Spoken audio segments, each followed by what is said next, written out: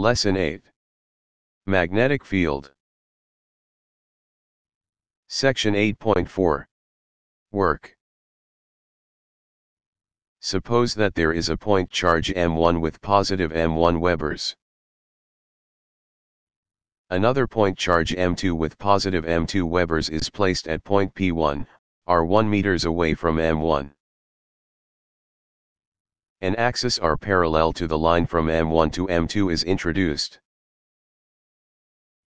Its origin is at m1. The coordinates of m2 is r1.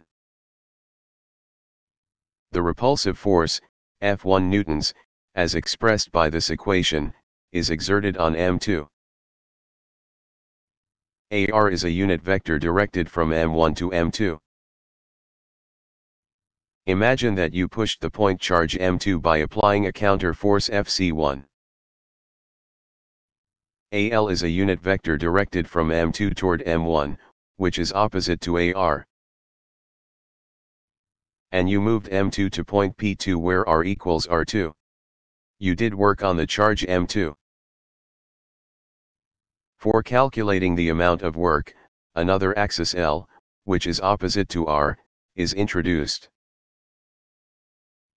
Its origin is set at the initial position of M2.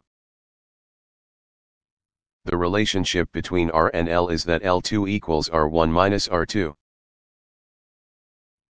Fc is rewritten as a function of L. The differential displacement of charge by the force Fc is denoted by dl. In this case, it is in the same direction as AL. The differential work dW is given as an inner product of Fc and dl. The work W done on M2 is obtained by integrating Fc dl from 0 to L2. Thus, the work is derived as shown in this equation. The unit is joule. Exercise 8.4 Pause the video, and answer the problem. Find the amount of work W on M2. The answer to exercise 8.4. Pause the video and check the answer.